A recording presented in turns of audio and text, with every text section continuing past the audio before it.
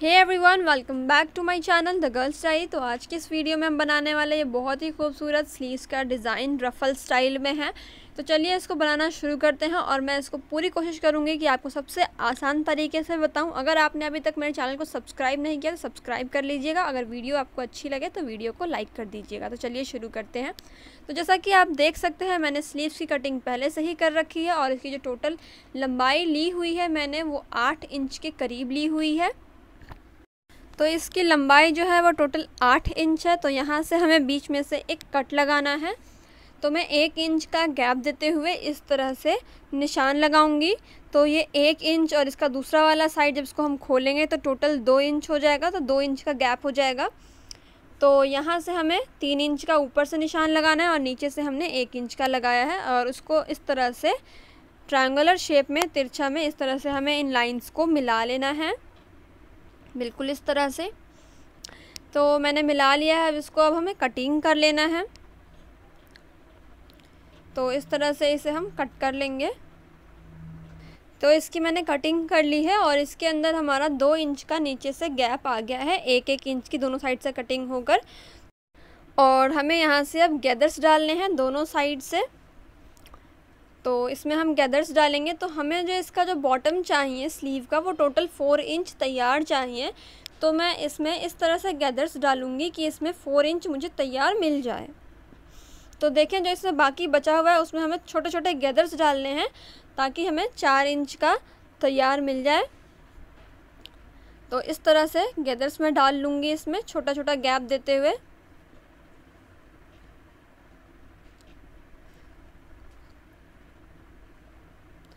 तो जैसा कि आप देख सकते हैं, यहाँ तक हमारा फोर इंच आ रहा है तो मैं एक गैदर और डाल सकती हूँ इसके अंदर। तो मैं एक और डाल दे रही हूँ, और जो थोड़ा सा जो हमारा पार्ट बचा हुआ है, वो हमारे स्टिचिंग में जाएगा। वो मैंने इसलिए छोड़ा है, क्योंकि जब हम दोनों स्लीव्स को अटैच करेंगे तो मार्जिन में सिलाई में जाएगा। तो इतना इतना हमारा सिलाई में चला जाएगा, और बाकी हमारा डिज़ाइन में आ जाएगा। तो इसी तरह से मुझे इसके दूसरे वाले पार्ट में भी तैयार कर लेना है। इस तरह से गैदर्स हमें डाल लेना है उसके अंदर भी। तो देखें मैंने इस तरह से दोनों साइड गैदर्स डाल लिए हैं और दोनों में ही चार चार इंच का इस तरह से गैप आ रहा है और और बाकी स्टिचिंग में चला जाएगा। तो इस तरह से दोनों इक्वल हो गए हैं और अब हमें यहाँ पर तिरछी पट्टी चाहिए यहाँ पर लगाने के लिए। तो देखें इस तरह से मैंने तिरछी पट्टी काट ली है, बिल्कुल। आपको इसमें स्ट्रेट पट्टी नहीं लेनी है, वरना वो ढंग से अच्छे से सिलाई में नहीं आएगी। तो मैंने तिरछी पट्टी जो ली है, वो लगभग डेढ़ इंच के करीब ली हुई है। तो इस तरह से हमको इसको ले लेना है और मैंने ये स्लीव्स के उल्टे वाले साइड से रखते हुए इसको सिलना शुरू करा है। स्लीव का जो उल्टा वाला पार्ट है तो इस तरह से रखते हुए हमें सिल लेना है बिल्कुल। घुमाते हुए इस तरह से। तो ये हमारा इसका स्टिचिंग हो गया है और एक्स्ट्रा फैब्रिक में कट करके इसको अलग कर दूँगी। तो बिल्कुल इस तरह से ये हो गया है रेडी और ये हमारा बैक वाला पार्ट है और ये हमारा फ्रंट वाला पार्ट है। तो हमने बैक वाले पार्ट से पट्टी को रखते हुए सिला था और फ्रंट वाले पार्ट में हम इस तरह से इसको फोल्ड करेंगे। ये देखें, एक बार फोल्ड करा और ये दोबारा फोल्ड करा और पीछे से देखने में इस तरह से दिख रहा है। तो इस तरह से हमें फोल्ड करना है इसको कपड़े को अंदर रखते हुए, बिल्कुल इस तरह से। तो मैं इसे फोल्ड करते हुए सिल लूँगी। बिल्कुल हमें कपड़े को अंदर करते हुए नहीं सिलना है, सिर्फ़ दो फोल्ड लगाना है इसके ऊपर हमें, जैसा कि आपने देखा, बैक से किस तरह से दिख रहा था ये। अभी मैं आपको दिखाती हूँ सिलने के बाद भी कि आपको समझ में आ जाए अच्छे से इसको।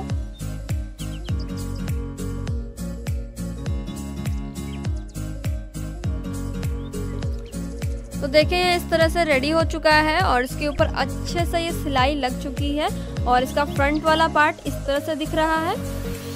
और बैक वाला पार्ट इस तरह से दिख रहा है। तो अब हमें इसके किनारे को इस तरह से मिला लेना है और यहाँ पर हमें ट्रायंगुलर शेप में तिरछी सिलाई लगानी है। मैं आपको बताती हूँ किस तरह से लगानी है।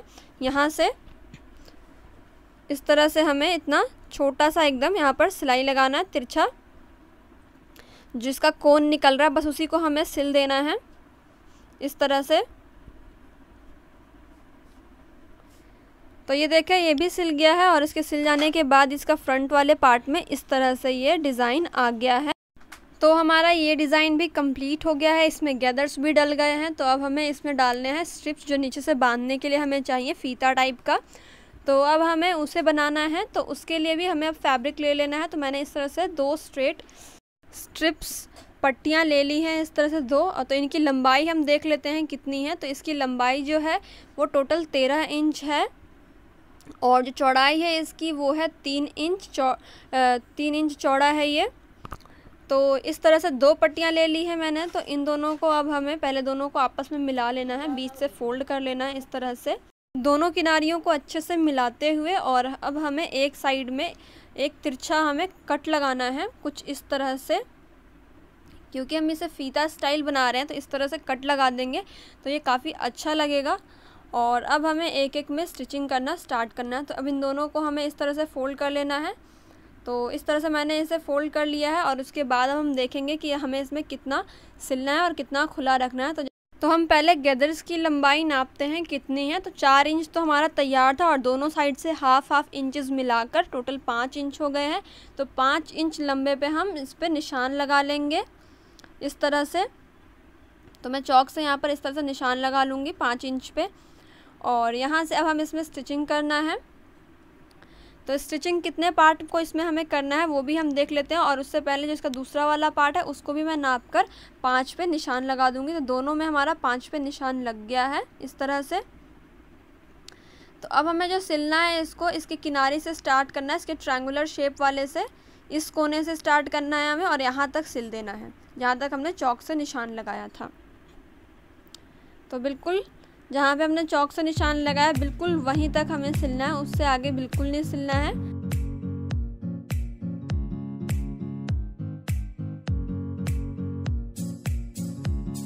तो ये देखिए, मैंने जहाँ तक निशान लगाया था, बिल्कुल वहीं तक सिलाई लगा लिया है इसमें अच्छे से। यहीं तक हमें लगाना था और ये हो गया है और इसके बाद इसी तरह से हमें इसके दूसरे वाले फीते में भी इस तरह से सिलाई लगा देना है। सेम एज इट इज़ तो दोनों में सिलाई लग चुकी है और अब हमें इन्हें पलट लेना है। तो मैं इस तरह से इसको पलट लूँगी अंदर साइड करते हुए। तो इस तरह से इसे हम पलट लेंगे। ऐसे ही हम दोनों को पलट लेंगे। तो इसको पलट लिया है मैंने और इसके बाद जो हमने आधे में सिलाई लगाई थी और आधा वाला जो ये खुला वाला पार्ट जो छूटा हुआ है, इस तरह से कपड़ा अंदर की साइड है तो हमें बिल्कुल इसको अंदर की साइड करते हुए, इसी तरह से हमें दोनों साइड फोल्ड करते हुए अच्छे से इसको आयरन कर लेना है और इसको भी पलट कर उसको भी अच्छे से आयरन कर लेना तो जैसा कि देख सकते हैं आप, मैंने कर लिया है और काफ़ी अच्छा लग रहा है। और अंदर की साइड से जैसा कि आप देख सकते हैं, यहाँ से जो अंदर कपड़ा फोल्ड था, उसको मैंने अंदर के साइड ही अच्छे से फोल्ड करते हुए आयरन कर दिया है, ताकि उसमें पहले से ही एक निशान बन जाए कि इतना पार्ट जो है फोल्डेड है और इतने पर ही हमें सिलाई लगानी है। तो इस तरह से दोनों में सेम फोल्ड हो रखा है और सिलाई लग चुकी है।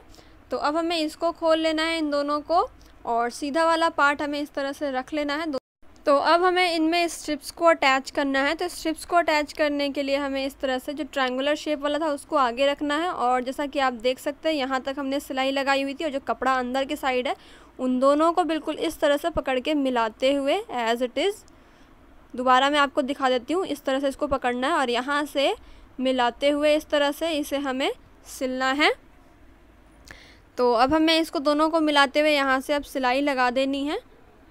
तो यहाँ से मैंने इसमें देखिए सिलाई लगा दी है और पहले से इसमें निशान बना हुआ है। हमने अच्छे से आयरन कर लिया था तो इजीली निशान हमें लगा हुआ था पहले से ही कि हमें इतने वाले पार्ट को सिलना है। तो और ये सिल चुका है और कपड़ा ये अंदर के साइड चला जाएगा। इस तरह से, जैसा कि आप देख सकते हैं। और इसको अब हमें पलट लेना है और इसको ऊपर की साइड रखते हुए अब इस पर हमें सिलाई चला लेना है। तो बिल्कुल अब हमें किनारे किनारे से सिलाई चलाना है और बिल्कुल लास्ट तक सिलाई चलाना है।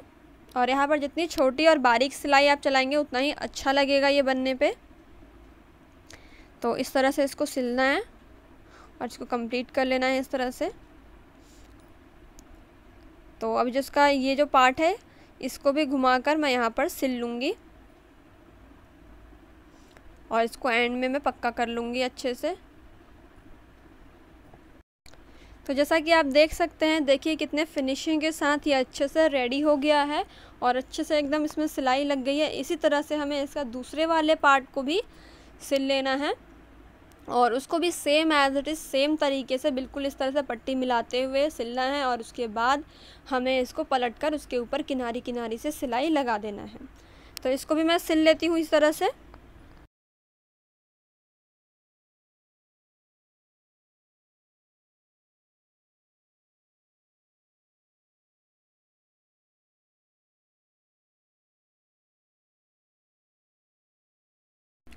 तो इस तरह से देखें हमारा ये डिज़ाइन रेडी हो गया है और उसके बाद अब हमें फ़िटिंग की सिलाई लगानी है इसमें, जितना आपको फ़िटिंग चाहिए। तो जैसे कि मुझे चार इंच का चाहिए था तो इस तरह से मिलाते हुए और इसके किनारी किनारी अब मैं सिलाई चला दूँगी।